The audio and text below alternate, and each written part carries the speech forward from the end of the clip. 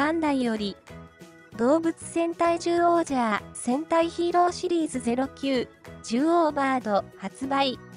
動物戦隊獣王者からヒーロー定番のアイテム戦隊ヒーローシリーズ09、獣王バードが登場。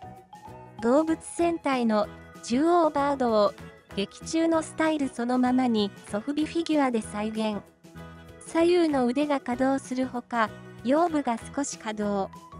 発売予定日、2016年11月5日。価格、972円税込みです。